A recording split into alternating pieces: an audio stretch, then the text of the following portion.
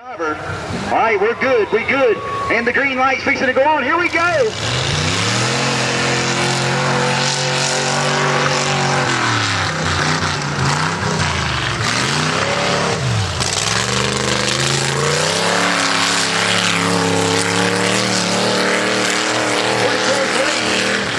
About, about two front leads right now, but Jonathan's coming into the corner. It's looking pretty good, and this is going to be a close one. It's going to be a close one. Whoa! And Sha took a left-hand turn. All right, EMS has got it under control. Little bit of transmission fire. Looked like it may have burnt up on the header a little bit there. Sha's got it taken care of. The EMS is out there with her. And Jonathan takes the win without crashing.